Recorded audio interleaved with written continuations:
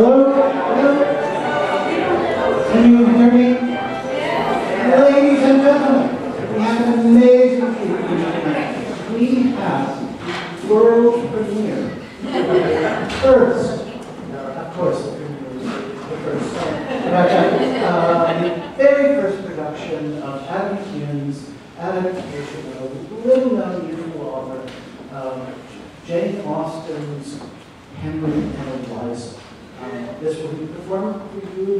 The uh, uh, Regency Players. Um, After we clear the boards, you will be able to gamble your fortunes away.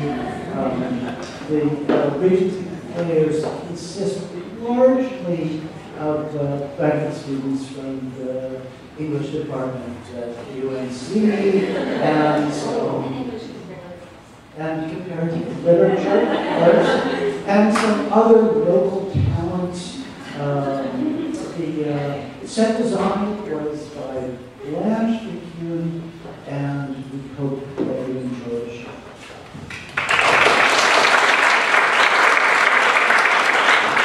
And there will be a, there is a playbill with the full cast, but it will be reading this tomorrow.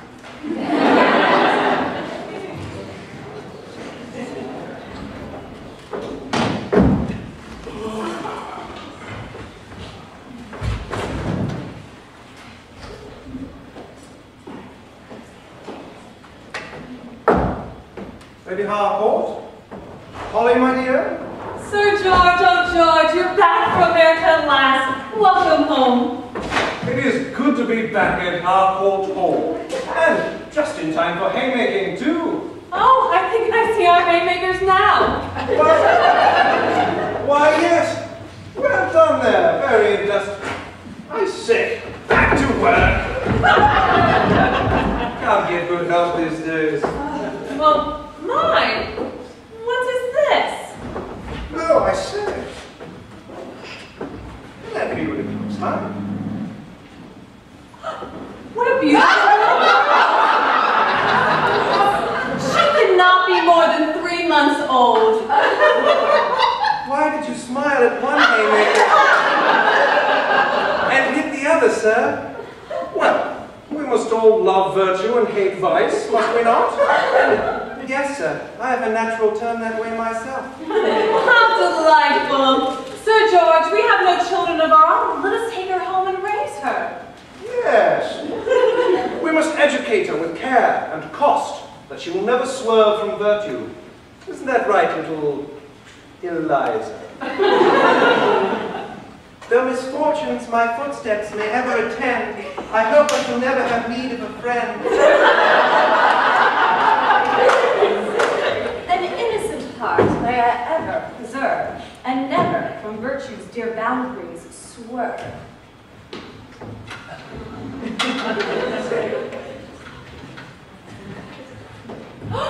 Why, Eliza!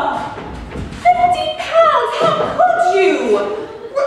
We adored you. We, we raised you for 18 years of uninterrupted happiness. what have we withheld from you that would prompt you to rob us? Losing your good opinion might be death to someone whose mind is less noble and exalted than mine. But I am happy in the knowledge of my own excellence. Eliza! Oh, Get out of our house. Get out and never come back. Hmm. I suppose I could become a servant, but I think I'll be a lady's companion. My friend was the Duchess of Felcourt. She can introduce me, and it would hardly be kind to deprive the Duchess of my company.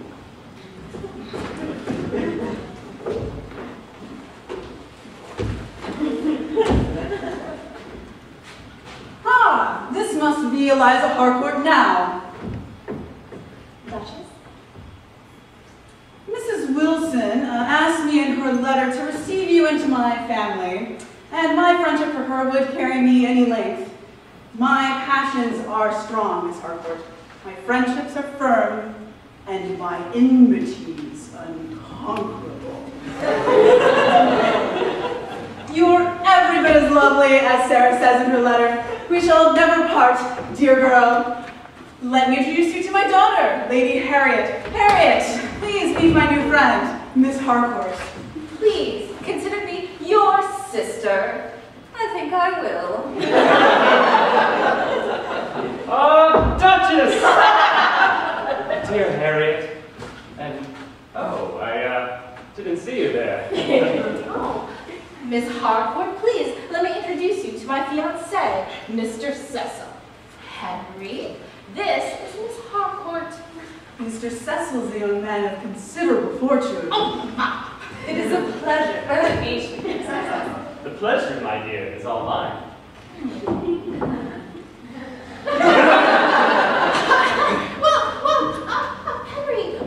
going to the assembly this evening. Uh, Yes, yes, uh, our carriage is just coming around. Um, we must be off. Yes, um, will you be joining us?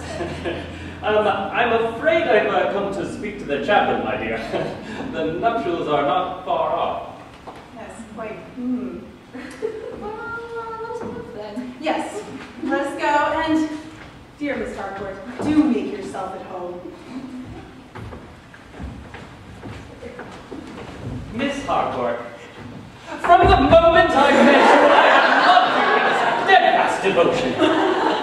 Your declaration awakens in me a love that is too deep for words. My dear Miss Harcourt, may I call you Eliza. Eliza? Of course, dear Henry. Eliza, will you consent to a private union? Of course. Splendid. Ah, there you are. So, uh, oh. Uh, Miss Harcourt, may I introduce chaplain of Felcourt Manor, Mr. Reed? Yes, Miss Harcourt, the Duchess has praised you highly, but may I say even her praises do you no justice? I come to you, sir, to ask you to uh, perform a wedding. Yes, yes, of course. You and Lady Harriet need only name the day. Not quite. Uh, Miss Harcourt and I intend to be married. Yes? Beg your pardon. And of course. Henry and I are betrothed. Uh, but, Mr. Cecil, you're promised to Lady Harriet. Whereas I, I'm not betrothed to another, and a clergyman must set the example of matrimony before the laity. Mr. Reed, if you do admire me so very much, Oh, I do. surely you would be willing to do anything to oblige me. Yes. Oh, yes.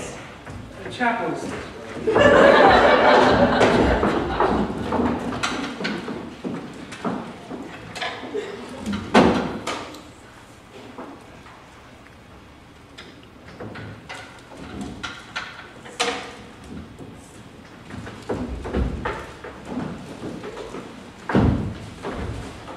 The assembly has been awfully quiet of late. Well, uh, perhaps when Miss Brookfield added to the conversation, you should not have thrown her into your dungeons. Personal remarks are not conversation. Now, where is Miss Harcourt?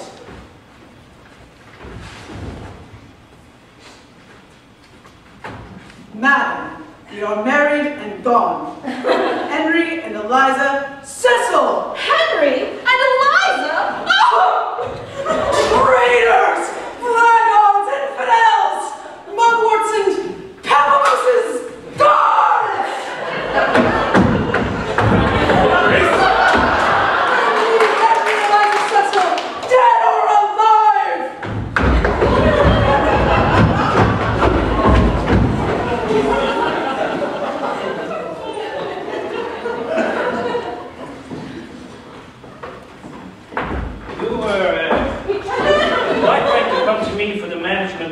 estate, for the sake of these two young gentlemen. So, Master Harry, Master Henry, do sit down. Thank you. Thank you. All right, now, first of all, I'm going to have to advise you to curtail some of your more extravagant expenses.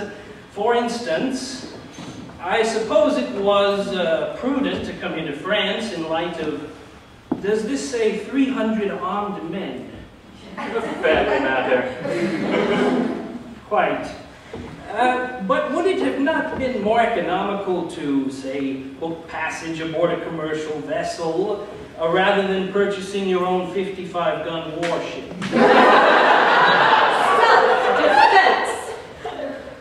Just so. Uh, let's see.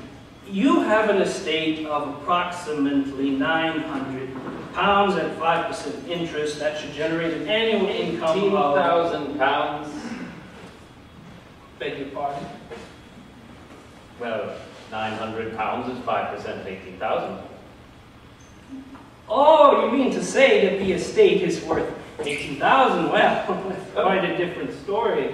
No, Do you mean to say that you've been spending 20 times the entire value of your estate every year? I'm afraid we've only been able to save a trifle. You must return to England at once. If you remain here, your creditors will become more dangerous than any 300 armed men. creditors? No, don't tell him how. Oh, I'm ruined!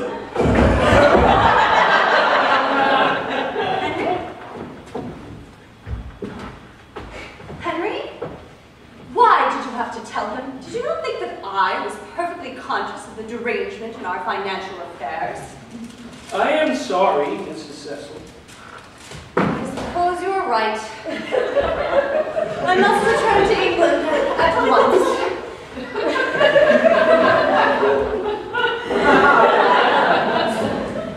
now, little Henry and Harry,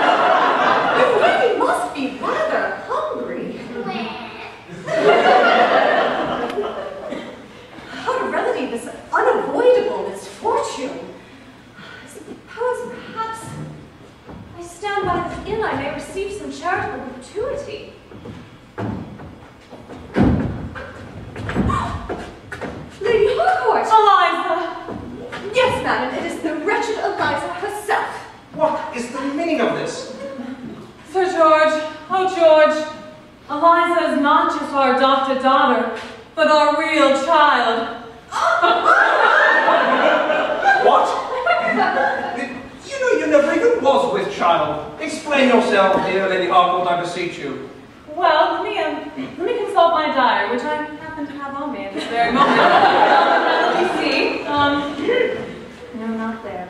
Oh, do you remember how delightful? Okay.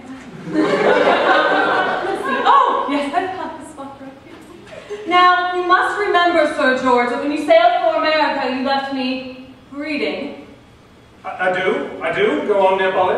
Now, four months after you were gone, I was delivered of this girl, but dreading your just resentment at her not proving the boy you wished, I took her to a haystack and laid her down. Now, a few weeks afterwards, you returned, and fortunately for me, made no inquiries on the subject. Satisfied within myself with the welfare of my child, I soon forgot I had one. Insomuch that when we shortly after found her in the very haystack that I had placed her, I had no more idea of her being my own than you had. Oh. And nothing, I will venture to say, would have recalled the circumstance to my remembrance but my thus accidentally hearing her voice, which now strikes me as being the very counterpart of my own child's. The rational and convincing account you have just given leaves no doubt of it being ours. As such, I freely forgive the robbery she was guilty of. Come, Eliza, will you embrace your father? No. Oh, I'll take it. Well, Eliza, now that we're reconciled, is there anything I can do for you as a little token of my esteem? Well, Papa, might I have the use of your private army? Yes, of course. Oh, there. Duchess's snug little dungeon, stone by stone, and free every last one of her prisoners. By freeing all those people, you will surely gain the blessing of thousands. No doubt, but more importantly, I shall win the applause of my own heart.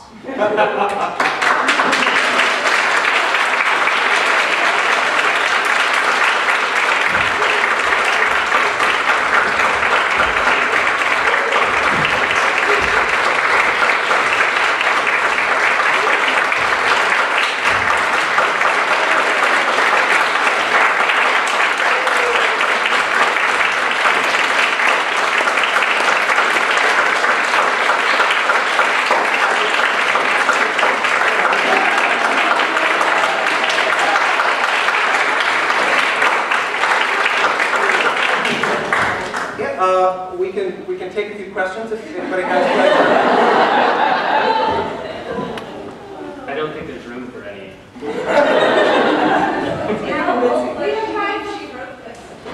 Sorry? How old was she when she wrote this? Letter? I don't.